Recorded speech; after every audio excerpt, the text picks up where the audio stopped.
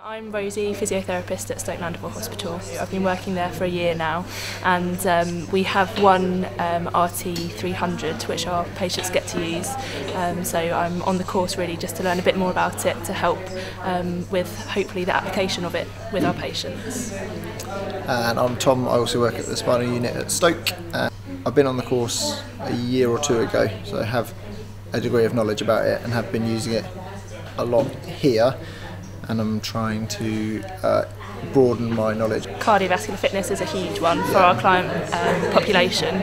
Um, also increasing muscle bulk um, to help with sort of um, circulation and also um, with management of sores and reduce the risk of sores if they've got increased muscle bulk. Um, and also the potential of um, if they have got a little bit of motor innervation to try and work upon that and build upon their strength to enable them to do more. Mm.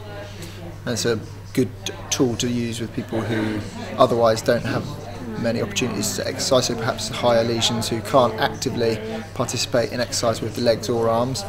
They could use one or, both of their arms or legs to participate in exercise that could benefit them cardiovascularly and in a spinal cord population where heart failure is a big um, killer and morbidity factor, um, it might be a good way to cardiovascularly train somebody to reduce that risk and therefore potentially live longer. It's like being back at school, but it's been brilliant, very educational, um, learnt a lot, um, and it just shows how much there is to learn about the FES unit. It's a complex pieces of machinery, but uh, capable of doing amazing things.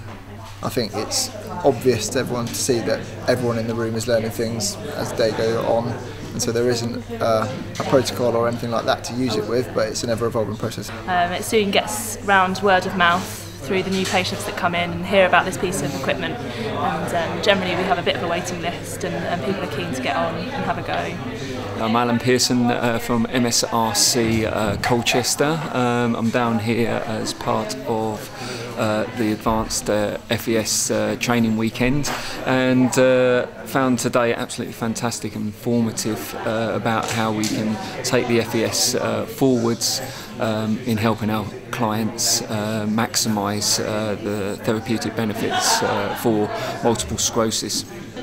Yes, I think uh, every client's different, um, and it's looking at the the level of uh, attitude to work, as I call it. So it's really getting them involved in the um, and having a good experience uh, with the uh, functional electrical stimulation, um, so we can then maybe challenge their expectations and give them the um, the coaching to uh, manage themselves in a day to day activities. Absolutely fantastic. I've only been involved in it about two months now, and the the effects that I'm getting with people and their responses to it is is brilliant. You know, you, you, know, just to see their faces and they're looking forward to coming to the next session, and they don't want to miss that session, knowing that you know this is their opportunity um, to have this.